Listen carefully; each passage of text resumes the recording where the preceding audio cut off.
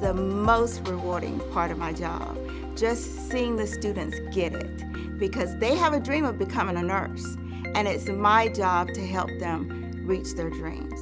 We work hard not only at the university level at helping our students succeed, we work hard in our community. The most important part of the nursing program that a student should know is that we all work together to help them succeed.